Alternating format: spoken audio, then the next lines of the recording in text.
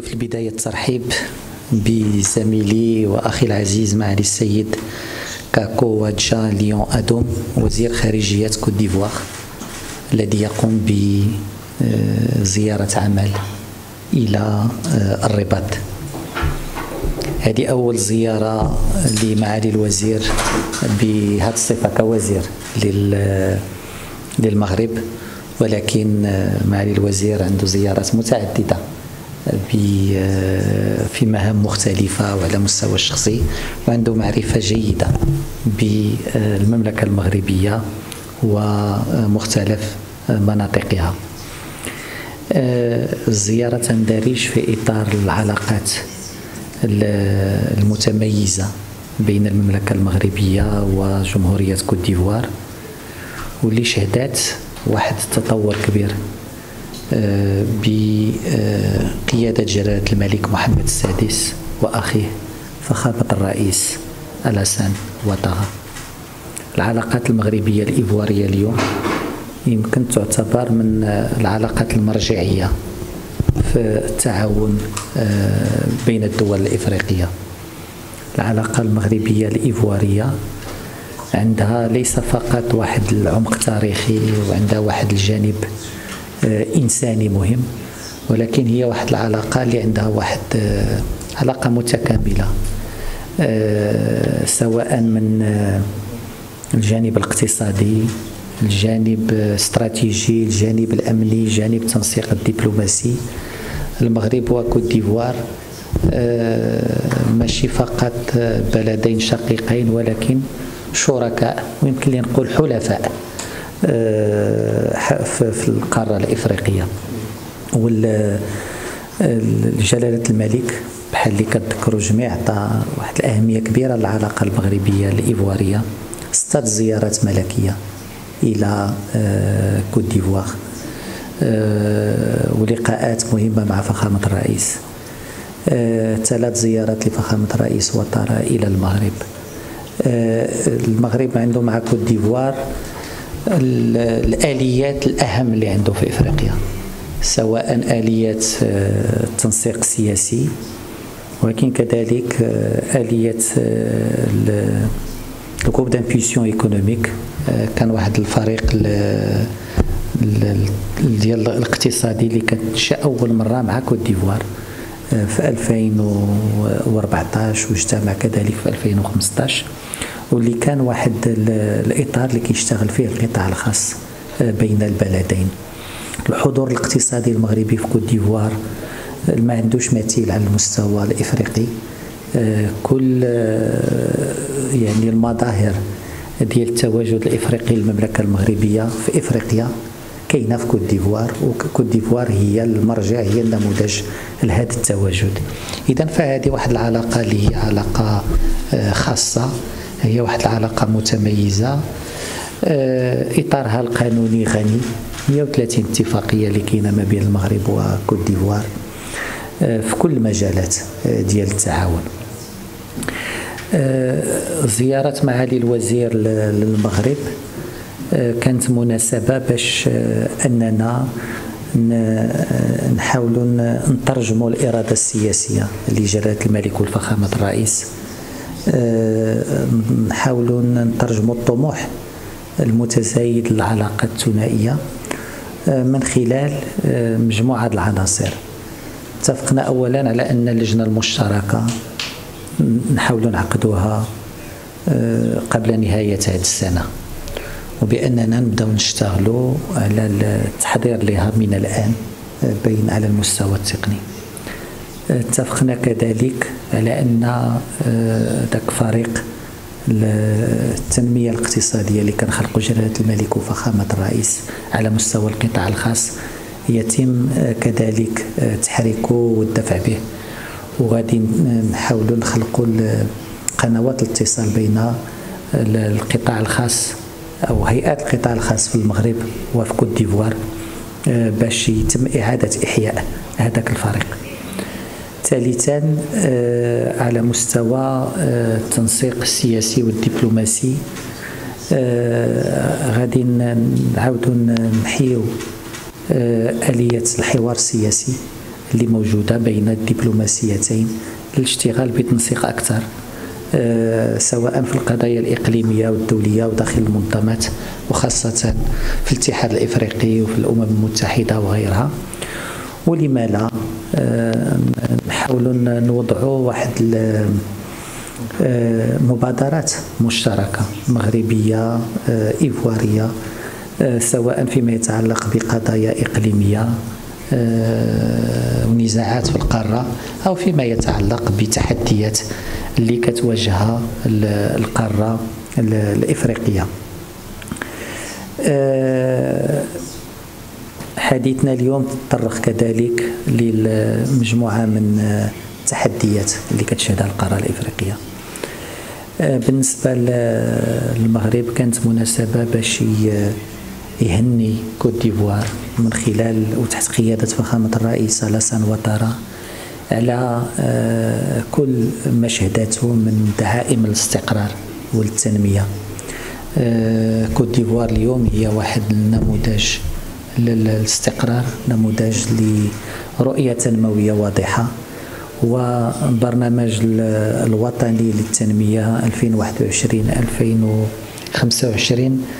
آه، كي يبين الطموح الكبير اللي عند فخامة الرئيس باش كوت ديفوار تعزز مكانها كقطب الاستقرار وقطب التنمية في غرب إفريقيا.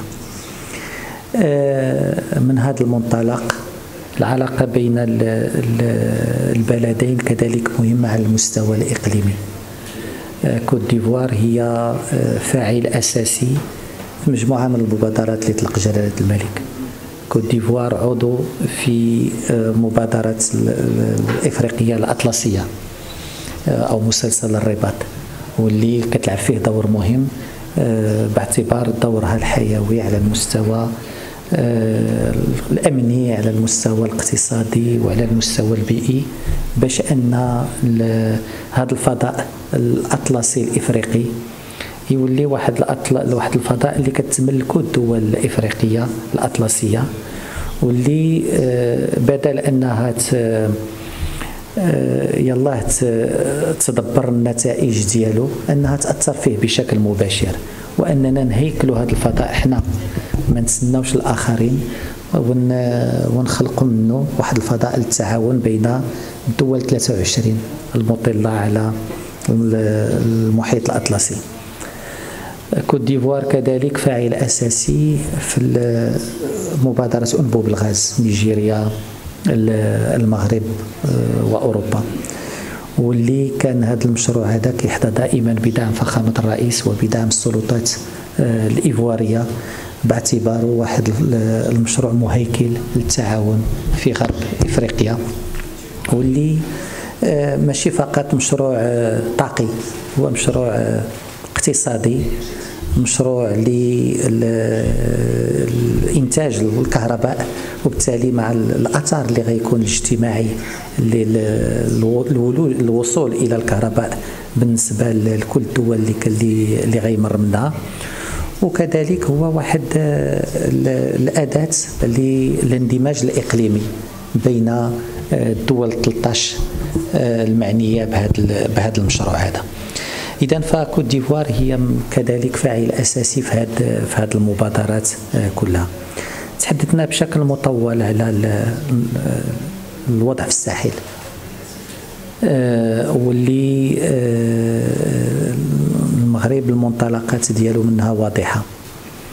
اولا الاستقرار في منطقة الساحل هو عنصر مهم للاستقرار في غرب إفريقيا وحتى في شمال إفريقيا.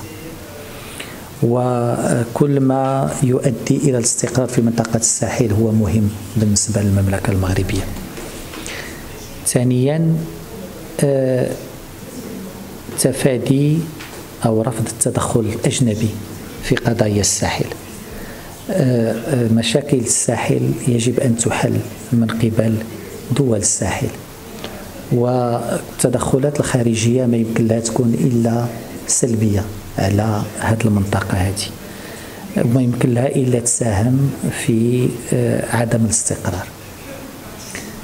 المغرب كان دائما يحترم ويتابع باهتمام وباحترام كل القرارات اللي خدتها منظمة دول غرب إفريقيا باعتبارها الإطار اللي كيتم فيه كتنتمي له هذه الدول وكيتم فيه مناقشة الوضع في هذه الدول. والمغرب عنده نقاط تقاطع كثيرة مع آه، المسار اللي خدته دول غرب إفريقيا في تدبير الوضع في منطقة الساحل. متفقين على الأهداف بشكل كبير. يمكن الأدوات كل واحد عنده أدوات مختلفة وكل واحد كيستعمل الأدوات اللي في يده ولكن الهدف الأهداف ماشي متناقضة. les leviers ne sont pas les mêmes mais les objectifs sont convergents. وبالتالي فاليوم اشتغلنا أو تحدثنا كثير على كيفية خلق تكامل بين أدوات العمل في منطقة الساحل. للحفاظ على الاستقرار في ذاك المنطقة ولكن باش ما ذاك الوضع في المنطقة ما يمش استقرار في دول أخرى. وبالنسبة للمغرب أمن واستقرار كوت ديفوار هي أولوية مهمة من منطلق الأولوية اللي كيعطيها جلالة الملك لهذه العلاقة. استقرار كوت ديفوار بالنسبة للمملكة المغربية وأمنها هي خط أحمر. ولا يمكن للمغرب أن يتساهل معها. جلالة الملك كان عنده اهتمام شخصي وفي التفاعل مع فخامة الرئيس كان دور كبير في التعاون العسكري باش لأن استقرار كوت ديفوار يتم الحفاظ عليه ويتم تفادي المس به.